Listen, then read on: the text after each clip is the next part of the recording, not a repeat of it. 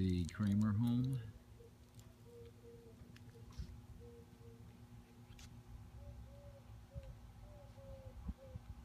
As you can see across the street, has the same model with an exception of they have a third car garage where they converted that into a bedroom in this home here that you're looking at. It's actually a bedroom here, which would be a good location for your uh, man cave as you were talking.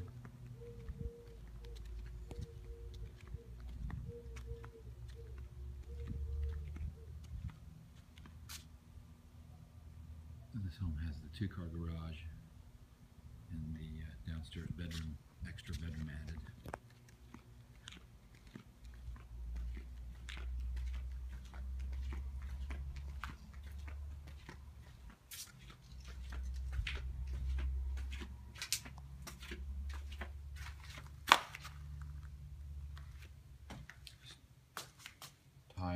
The entryways.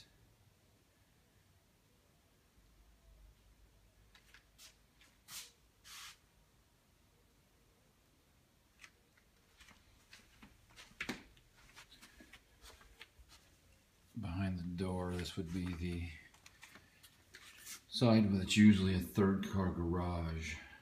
This room is probably 12 by 18, which would make a good man cave also. The master bedroom will be upstairs in this unit, rather than this being a garage. It's a bedroom, but it would probably be a better man cave than uh, upstairs by the where all the bedrooms are, where people will be sleeping. It's neutral paint throughout. Obviously, 20, 25 foot ceilings. Nice fixtures. Has all the uh, window coverings two inch faux blinds.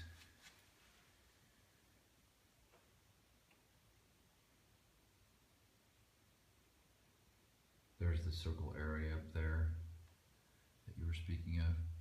I don't think we'll go, we'll go up there, but I don't think that's going to be big enough for uh, a, a man cave.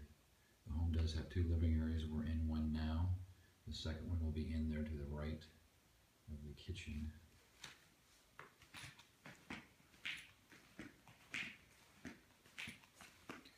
Just tile in all the wet areas, entryway, kitchen, laundry. Has a upgraded oversized maple cabinets, ceiling fans throughout, carpet in the living areas and the bedrooms, carpet's in good shape. Has a granite countertops, stainless steel appliances. I'm sure they're going to leave those or include them in the sale. Does have a gas stove. A uh, backsplash also behind the sinks. Has the uh, in-mounted sink. The osmosis system, that's a drinking water filter system.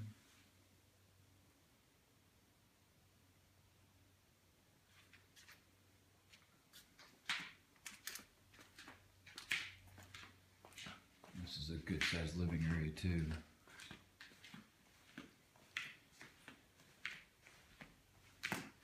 You actually have three places for a man cave here.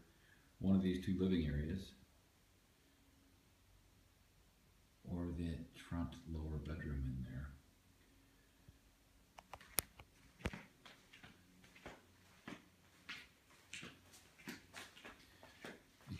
is another full bedroom downstairs here also. This is behind the kitchen area. Another full bedroom.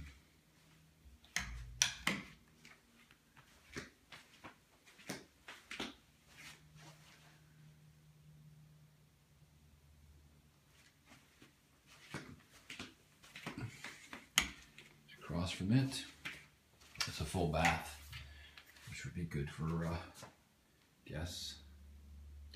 Light fixtures are updated. So also matching granite tile, full tub shower unit.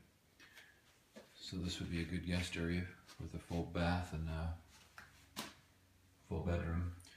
Laundry room is huge. Goes directly to the garage.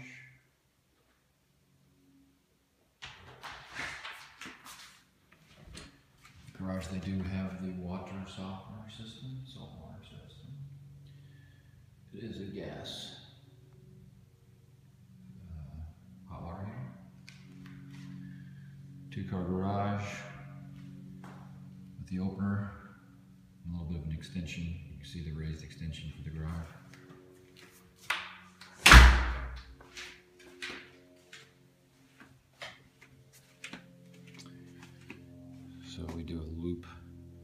Coming back towards the front door here. And then upstairs.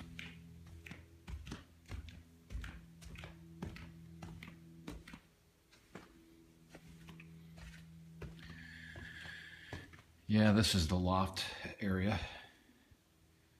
I'd say the deepest part of the arch over to this wall is probably 12 feet. And then the half moon here across is probably another 12 feet. This would be a good little office area for a desk or something. But it's not going to be big enough for a man cave, like a pool table or anything like that.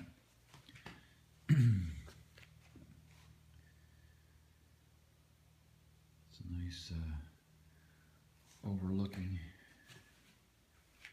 It does have a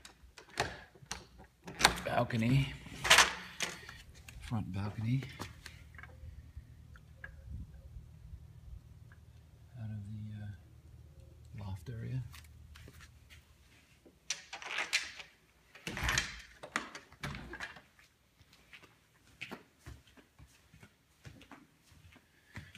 You have two spare bedrooms at the front of the house.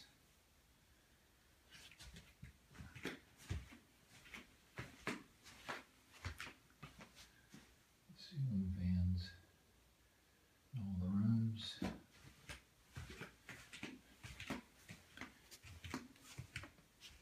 Second spare bedroom upstairs. This is a big house.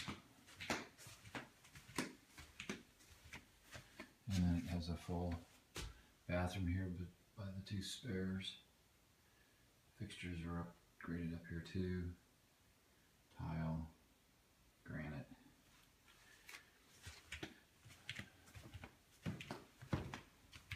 Into the master bedroom. There's the little loft area you were talking about. The master bedroom is huge. This has got to be 17 by 20.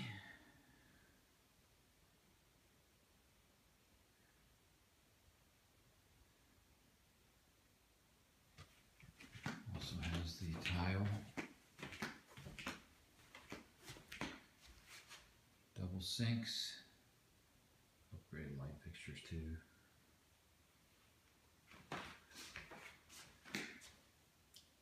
the separate tub and a full-size shower. Most of them come with just a half shower when they have a tub. That is a full-size shower. And then you have a big walk-in closet with a separate toilet room. It has the door on it.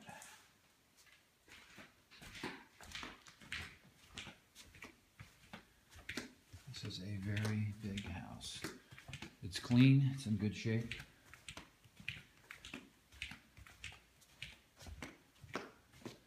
Looks like it- they do have sunscreens on the outside of the windows, which is is good out here. It helps keep the heat and sun out of the house. Goes alone. On our house was three thousand dollars.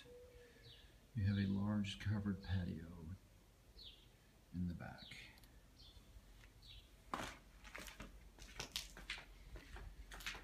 No neighbors dir- directly behind you, which is good.